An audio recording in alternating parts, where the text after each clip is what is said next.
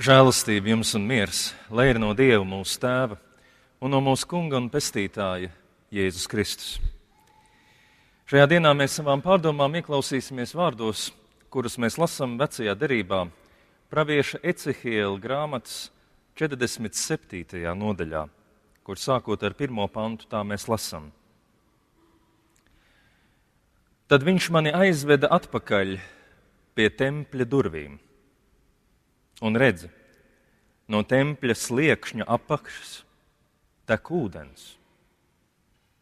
Tas ir tempļa austrumu pusē, jo tempļa priekšpuse ir pret austrumiem. Ūdens tek lejup gar tempļa dienvidu sienu, dienvidos no altāra. Viņš man izveda ārā pa ziemeļu vārtiem un pa ārpusi veda pie ārējiem vārtiem, kas ir austrumos. Un redzi, ūdens plūde no dienvidu puses. Vīrs ar mērauklu rokā gāja uz austrumu pusi, viņš nomērīja tūkstošu olekšu un lika man brist cauri.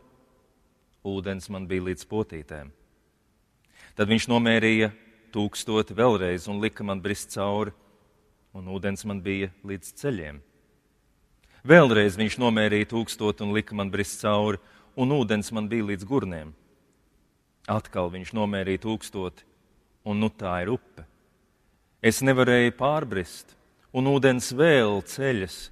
Tā ir upe, kas jāpeld, tai nevar pārbrist. Viņš man sacīja, cilvēka dēls, redzēja. Tad viņš mani veda atpakaļ gar upes krastu. Es nācu un redzi, upes abos krastos milzumu daudz koku. Viņš man sacīja, šis ūdens plūst uz austrumu pusi, trauc lejup caur klajumu un ietek jūrā. Kad tas ieplūst jūrā, tad visi ūdeņi tiek dziedināti. Tad dzīvos visi, kas kust, kur vien šī upe tek. Arī zivju būs ļoti daudz, kur vien šis ūdens plūdīs, un visi būs dziedināti. Visur, kur upe plūdīs, būs dzīvība. Zvejnieki pie tās stāvēs, tur būs kur tīklus izmest, un zivju būs tik daudz kā lielajā jūrā. Vien dīķi un dumbrāji netiks dziedināti, lai būtu kur ņemt sāli.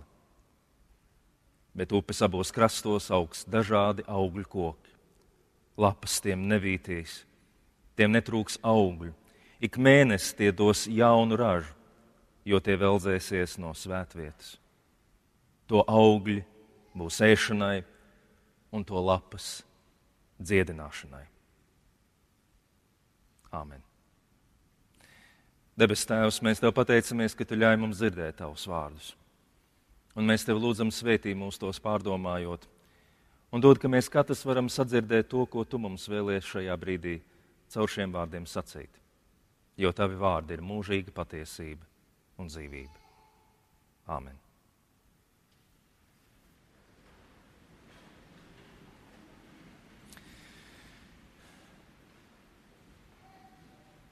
Viens no lielākajiem kaitējumiem, kādu aizvadītajos gadsimtos labu griboši, ticīgi ļaudis ir nodarījuši Bībelē, ir tas, ka Bībele cilvēku apziņā ir padarīta par tādu biezu un smagnēju dažādu likumu vai morāles normu grāmatu. Nu, par tādu grāmatu, kas ir nomācoša, jo tajā tik vien atrodam kā pamācības, prasības, noteikumus, protams, arī nosodījumu, ja kāds no mums mēs nedaram to, kas ir prasīts. Un tā man liekas, ka tas ir arī galvenais saturs. Bībele ir tāda grāmata par to, kādiem mums ir jābūt. Un tomēr es uzdrošinos sacīt, ka tā nav līdz galam taisnība. Starp daudzajām Bībeles grāmatām mēs, protams, tiešām varam atrast arī daudzas norādes par to, kādai būtu jāizskatās cilvēka dzīvē. Taču, ja mēs pievēršam visu savu uzmanību vienīgi šai tēmai un atstājam novārtā visu pārējo, tad tā ir nevis Bībeles vaina vai problēma, bet tā ir vienkārši mūsu izvēle, kuru varbūt vada kādi mūsu laikmeta diktēti nosacījumi vai mūsu intereses. Jo, lai cik jums tas savādi neizklausītos, Bībele nav primāri morāles grāmata. Ja nu mums vajadzētu tai dot kādu tematisku virsrakstu, tad varbūt daudz precīzāks un piemērotāks būtu tā ir grāmata par ceļu pretī dzīvības pārpilnībai. Tā ir grāmata par dzīvības pārpilnību. Un, kad mēs sakām, ka Bībele ir svētie raksti, tad šie teksti ir svēti tāpēc, ka tie mums sniedz pieeju pie šīs citādās dzīves vai dzīvības. Tie vēlas mūs pamodināt no kāda miega, atvērt acis uz mūsu patiesajām iespējām, kas tālu pārsniedz to, ko mēs ceram vai domājam. Tā ir grāmata, kura ne tikai runā par dzīvību, bet pats galvenais grib mums to iedot. Ja vien mēs esam gatavi lasīt, uztvert un iedziļināties. Un vēlreiz pasvītrošu, ka, jā, protams, pie pilnvērtīgas dzīves ir svarīgi, ka mēs paši nedaram to, kas dzīvību apdraud vai iznīcina. Un tāpēc visi tie ētiskie norādījumi Bībelē, protams, ir atrodami un ir svarīgi. Bet par ētiku domāt vien ir par mazu. Tas ir tāpat kā ar ceļu satiksmes noteikumiem. Tad, kad tu paņem rokās grāmatiņu un tos pirmo reizi izlasi, tas nenozīmē, ka mēs esam nokļuvuši gala mērķī, kādā citā vietā vai pilsētā. Ir ļoti svarīgi zināt robežas un noteikumus, bet nemazāk svarīgi ir tikt pie reāla auto un iemācīties ar to pa īstam braukt. Mūsu mērķis nav ievērot noteikumus. Mūsu mērķis ir nokļūt gala punktā kuru mēs esam noskatījuši. Un noteikumi mums palīdz izvairīties no katastrofām mūsu ceļā. Tāpat tas ir ar cilvēka dzīvi. Mērķis nav noteikumu pildīšana. Mērķis ir dzīvības pilnība. Es to jums stāstu tāpēc, ka mūsu šodienas pārdomu teksts no pravieša Ecehēla grāmatas pieder tieši pie tā Bībeles aspekta, kas daudziem no mums ir mazāk pazīstams jo šeit mums priekšā ir viens no skaistākajiem minētās dzīvības pārpilnības aprakstiem. Interesanti, ka arī pats Jēzus Jāņa evanģēlijā piemin šo dievu ieceri. Es esmu nācis, viņš saka, runājot par saviem mācekļiem, es esmu nācis, lai tiem būtu dzīvība un pārpilnība. Vai kā mēs varētu tulkot dzīvības pārpilnību? Bet tas jautājums ir, ko tas īsti nozīmē. Lai mēs varētu ar savu auto nokļūt galamērķī, mums ir nepieciešama ne tikai karte, tāds patiess un godīgs pasaules apraksts, ne tikai ceļu satiksmes noteikumi, kas būtu baušļi, ētikas normas, kas palīdz vienam ar otru nesaskrieties un vienam otru neiznīcināt, Mums ir vajadzīgs ne tikai prasmes braukt ar auto, kas būtu stāsts par mūsu garīgās dzīves pieredzi un prasmēm, bet mums ir ļoti svarīgi zināt arī skaidru mērķi, to aprakstu, tās vietas aprakstu, kur tad mums ir jānokļūst. Bez skaidra mērķa visi mūsu lieliskie potenciāli un instrumenti paliek bezjēdzīgi. Mēs neko ar tiem nevaram iesākt. Un tāpēc mēs atrodam Bībelē arī šādus un līdzīgus tekstus, kuru mērķis ir viens vienīgs - iekustināt mūsu dziļākos dvēseles slāņus. Iekustināt un iedvesmot ne tikai mūsu prātu un gribu, bet vispirms arī mūsu sirdi, mūsu jūtas. Jo dziļākās sirds sajūtas, ilgas, prieks, tās ir tās, kas vēlāk kustina mūsu gribu dod uzdevumu mūsu prātam un veido mūsu dzīvi. Bez dzīves sirds visi pārējie līmeņi cilvēkā paliek neattīstīti. Kā sakustināt sirdi? Kā iedot savai dzīvei iedvesmu? Kurp mēs gribam tiekties? Un viens no veidiem, kā Bībeles teksti mums nāk palīdzīgā, ir tieši caur šādiem poētiskiem aprakstiem, kas vienlaikus ir ņemti no reālās pieredzes. Tur nav aprakstīts brīnumainas, nesaprotamas būtnes, citādi mēs nevarētu tajā visā iejusties. Bet vienlaikus šie apraksti, protams, ir simbolu un metaforu pilni.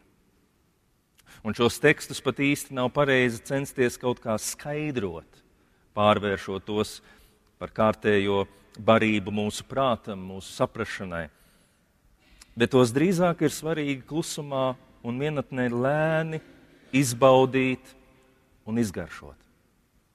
Svarīgi nepasteigties pārāk ātri tiem garām, nesteigties uz priekšu, kur aiz šiem fragmentiem var sakot citi vārdi un domas, kas, piemēram, atkal pievēršas minētajai ētikas tēmai, bet palikt pie šiem aprakstiem.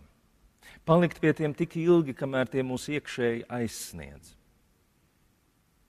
Un starp citu, tā nereti ir pavisam konkrēta, gandrīz gribētos teikt, taustāma pieredze.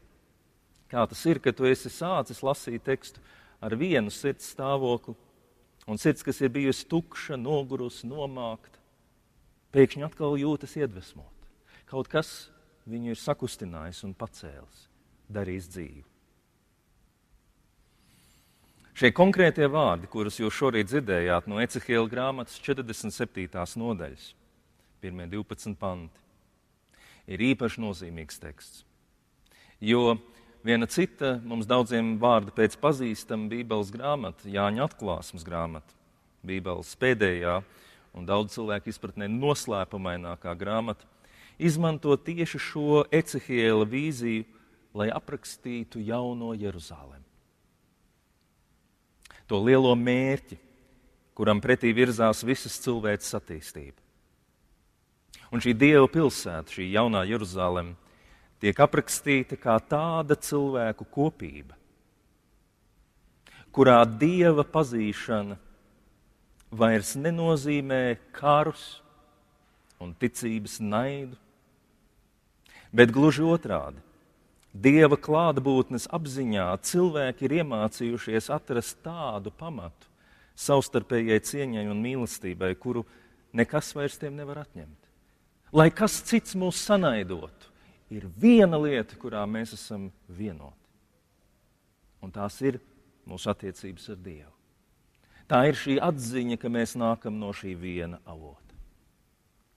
Jūs jūtat, cik tas ir atšķirīgi vai ne no tā, kā šobrīd lietas bieži vien mūsu dzīvē notiek.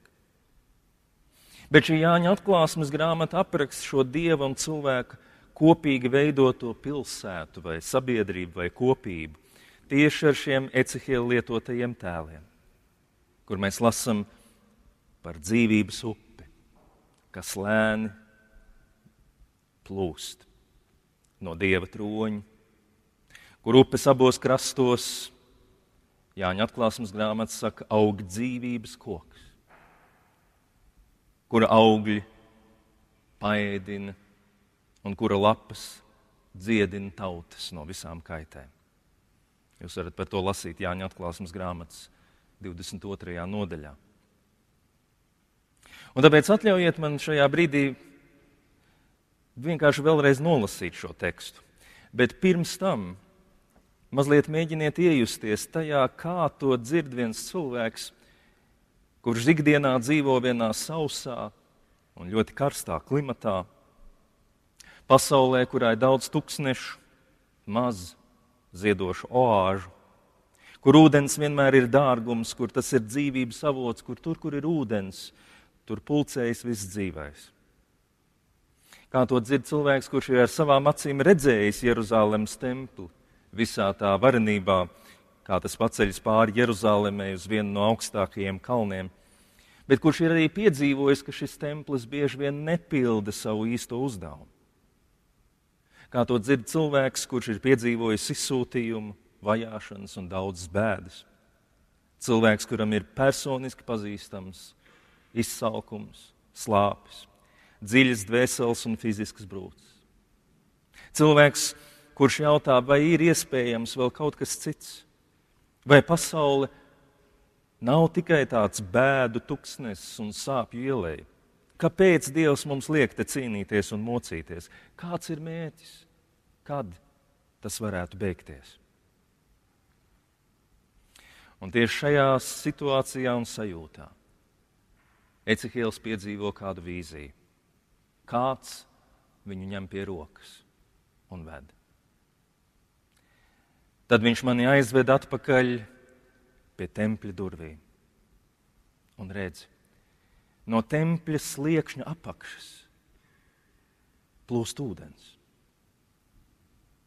Tas ir tempļa austrumu pusē, jo tempļa priekšpuse ir pret austrumiem. Ūdens tek gar tempļa dienvidu sienu, dienvidos no altāra. Viņš man izveda ārā pa ziemeļu vārtiem, pārpuse veda pie ārējiem vārtiem, kas ir austrumos, un redzi ūdens plūde no dienvidu puses. Vīrs ar mēroku rokā gāja uz austrumiem, viņš nomērīja tūkstots oliktas un lika man brist cauri. Ūdens man bija līdz potītēm. Viņš atkal nomērīja vēl tūkstotu un lika man brist cauri. Ūdens man bija līdz ceļiem. Viņš vēlreiz nomērīja tūkstotu un lika man brist cauri, un ūdens man bija līdz gurniem. Atkal viņš nomērīja tūkstoti, un nu tā ir upe. Es tai nevarēju pārbrist. Un ūdens vēl ceļas, tā ir upe, kur jāpeld, tai nevar pārbrist. Viņš man sacīja, cilvēka dēls, redzēja. Tad viņš mani veda atpakaļ gar upes krastu. Es nācu un redzu, upes abos krastos milzumu daudz koku. Viņš man sacīja, šis ūdens plūst no austrumiem, trauc lejup caur klajumu un ietek jūrā.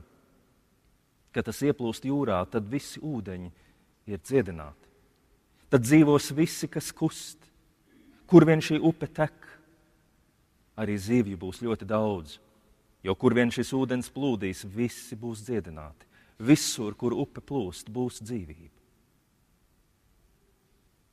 Upes abos krastos augs dažādi augļu koki. Lapas tiem nekad nenovītīs, tiem netrūks augļu. Ik mēnesi tie dos jaunu ražu jo tie veldzēsies no svētvietas. To augļi būs ēšanai un lapas dziedināšanai. Jā, no tempļa pamatiem, no tempļa sliekšņa plūdīs ūdens. Nu, kā toreiz, kad tuksnesī mūzus pāršķēla klinti un no tās plūda straumes. Tāpat arī tagad no šī varanā stūra akmeņa, no tā akmens, uz kā ir celta visa šī dieva ēka, no tā plūdīs dzīvības traumas. Nevis tik ierastais nosodījums, dedzinošā bauslības uguns, bet evaņģēlīja piedošana un žēlstība. Tā plūdīs kā straume, kas sākumā liekas vēl sekla, bet jo tālāk tā plūst, jo dziļāk tā kļūst. Līdz tā kļūst par varanu upi, kurā mājo zīves un kuras krastos aug neskaitāmi koki. Tā ir upe, kurai tik dziļa, ka to vairs nevar pārbrist. Tā ir pāri manai galvai. Man tajā ir jāpeld. Jo šī žēlastība, kas plūst, ir tik plaša, ka tā apņem visu cilvēku. Tā nomazgā ne tikai kājas, bet arī galvu un visu, kas mēs esam. Tā iegremdē mūs Dieva klātbūtnes pilnībā. Visiem par pārsteigumu. No tempļa plūst, plūst tāda ticība, tāda reliģiskā pieredze vai tāda dzīves pieredze, kas pasauli atjauno un atdzīvina, nevis sanaido un pārvērš tuksnesī. Ecehēls bija to redzējis, kā tas notiek un nu viņš redzēja jaunu sākumu. Pārāk daudz no tempļiem ir plūdis naida, pārāk daudz karošanas un nāves paša Dieva vārdā. Bet patiesība ir pretēji. Iepazīt Dievu nozīmē saprast, ka iznīcība rodas no Dieva nepazīšanas, no viņa apslēptības, nevis no viņa klātbūtnes. Jo no īstās klints, kam jaunajā derībā dots Kristus vārds, kas ir jaunās Jeruzalemes stūra akmens, plūst žēlastība un atkal žēlastība. Plašas traumas, kas piepilda pasauli un dziedina pat arī jūru. Nu jā, mēs Latvijā dzīvojošie droši vien, droši vien izvēlētos mazliet citus tēlus. Mēs vairāk varētu sajust prieku, ja pravietis aprakstītu tādu skaistu, saulainu, siltu dienu, kur beidzot ir atnākusi pilnvērtīga vasara, vai ne, kur mēs varam tādā zālēnā ezera krastā priecāties par zilām debesīm un tīro ūdeni, kur nav vairs tām pelēkām mākoņu pārklāja, kas tik bieži noēno dabu un cilvēku sirdi. Mūsu vasaras ir tik īsas, mūsu saule tik maz. Mums vajadzētu citus tēlus, citas metafāras Un tomēr es domāju, ka arī mēs esam spējīgi sajust šo Ecehila grāmatas iekšējo ritmu un cerību. Tas, ko viņš saka, mums visiem, ir īpaši tiem, kas sevi saucam par ticīgiem cilvēkiem. Mums visiem ir jāmācās sapņot, jāmācās redzēt šo vīziju par Dieva paredzēto nākotni. Jo kā lai savādāk mēs tai tuvojamies, ja mēs to nepazīstam? Un cik interesanti, Ecehēls šajā fragmentā nerunā par tempļa krāšņumu. Viņam netiek rādīts, cik brīnišķīga ir šī ēka, cik lieliski tā ir būvēta. Viņš būtībā vispār par templi nerunā. Viņš runā tikai par tā atstāto efektu uz apkārtējo pasauli. Uz dzīvo un nedzīvo pasauli, augiem, dzīvniekiem, beigu beigās cilvēkiem. Jo viņš saka, tas, ko Dievs grib mums iemācīt, ir ka templis nepastāv sevis dēļ. Tempļa mērķis nav templis, bet dzīvības pārpilnība. Un baznīca ir skaista, baznīca ir krāšņa, baznīca ir laba tikai tad, ja tā atbilst šai dieva iecerēji. Ja no tās pamatiem plūst straumi, ja no tās klātbūtnes pasaule kļūst par labāku vietu, kur dzīvot. Un te mums visiem ir ko pārdomāt, vai ne? Kā tas patiesībā ar mums ir? Un es jūs vēlreiz aicinu, nepalaidiet šādus vai līdzīgus Bībeles tekstus bez uzmanības. Tie ir domāti ikdienas lietošanai. Jā, jā, ikdienas lietošanai. Mums vajadzētu katru dienu atrast laiku ne tikai lūkšanai, bet arī, piemēram, šādu vai līdzīgu Bībeles fragmentu izgaršošanai. Jo tikai tad, kad mūsu sirdis un domas ir pilnas ar žēlastības tēliem, mēs spējam doties dzīvē un attiekties pret otru cilvēku ar to žēlastības bagātību, kuru pravietis te apraksta. Vai mēs spējam dzīvot tādu dzīvi, lai cilvēkiem mums līdzās mēs būtu par svētību? Vai no mūsu vārdiem un darbiem plūst dzīva ūdens straums, kas visam piešķir cerību un telpu un vietu? Ja atbilde ir noliedzoša vai nav pārliecinoša, tad mums ir nepieciešams kādā klusā brīdī atšķirt šo Ecehēla grāmatu 47. nodaļu vai kādu citu līdzīgu vietu. Un mierīgi un nesteidzīgi kopā ar pravieti pastaigāt pa šo viņa zīmēto ainu. Nu, mēģināt tā saprast, izjust, ko šie tēli mums pasaka, izmērīt šīs upes dziļumus līdz ar viņu, ieraudzīt dieva mīlestības plašumu. Un tā nav sevis suģestēšana kaut kam nereālam, bet gluži pretēji. Tā un vienīgi tā mēs varam palikt kontaktā ar šo dieva sākotnējo ieceri par mūsu dzīvi. Tikai paši būdam atveldzēti, mēs varam veldzēt arī citus. Un tieši šādā nozīmē Bībele ne tikai runā par dzīvības pārpilnību, bet tā reāli palīdz mums šo pārpilnību sasniegt. Āmen.